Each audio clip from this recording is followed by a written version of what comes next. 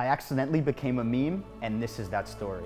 My name is Joe Cirkiel, and you may know me from this meme. Have you ever had a dream that that you um you had? This all started in the year 1999. I was five years old. My favorite thing to do when I was a kid was watch fantasy action stuff, you know, Dragon Ball Z, Power Rangers. I liked all the Disney stuff. Hercules came out around the summer before I went into kindergarten, and I definitely watched it a lot. I really liked the soundtrack, especially Zero to Hero. That was, that was a tune, that still is a tune.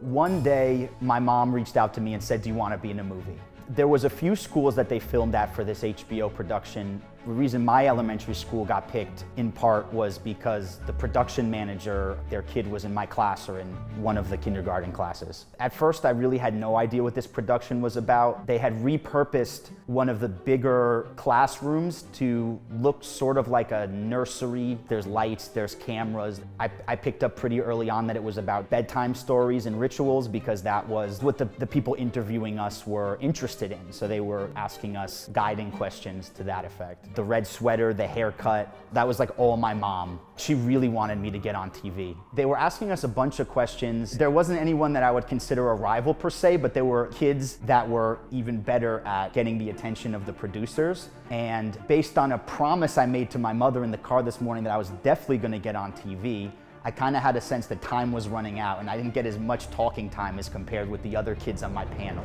And then they asked me about dreams. I remember this one scene from Hercules where Hercules searches out for Pan, who's Danny DeVito's character. He doesn't want to train anybody anymore and he's a failure, so that's when Hercules comes in and tries to persuade him about a dream. Have you ever had a dream? I've had a dream that I wanted so much that I could do anything. And once he said that, it, it, really resonated with Pan, and Pan said, okay, fine, I'm gonna train you, and the rest is history. So that was when I came in with my Hail Mary speech about dreams. Suffice to say, I didn't, I didn't come even close to, to what, what Hercules had to say about dreams.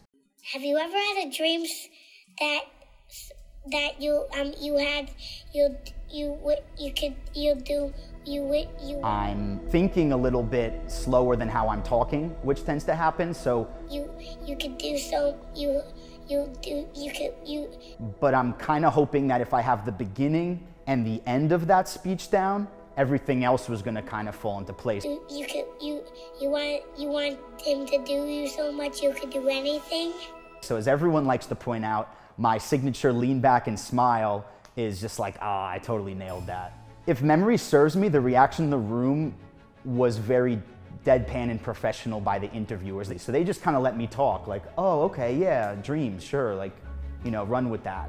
And oh, you know, we're, we're all set here, Joe, like that was great, you know, good job. I, I wasn't too sure whether they were gonna use anything that I said but I definitely felt like what I said was really, really compelling. I didn't hear much follow up about the movie until it was time to go see the premiere in New York. And so it was this big fancy hall that HBO booked out and they invited all the kids that had a speaking part it was kind of a red carpet moment. And I enjoyed watching the production and all my other friends that talked. Then, and then my part is an outtake at the end of the movie. The whole audience is laughing at me with the benefit of hindsight. I think they were more so laughing with me, but I didn't feel that at the time. And I actually was so upset with the producers. I actually blamed them. I thought that they had manipulated the film in some way to make it look like I stammered. I didn't even accept that I had stammered on, on the camera, which isn't true but it's just to say I wasn't necessarily a good sport about that,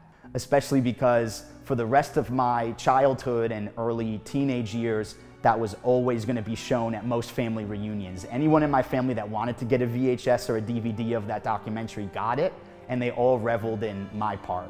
And I just kind of want that swept under the rug. I want to get past it. And it was more or less buried.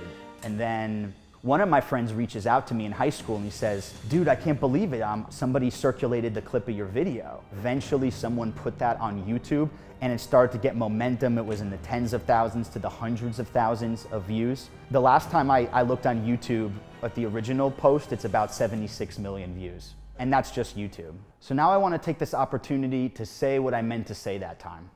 Have you ever had a dream that was so palpable so crucial to your goals and your aspirations that you would do absolutely anything to accomplish it. I've had that dream, and this is my story.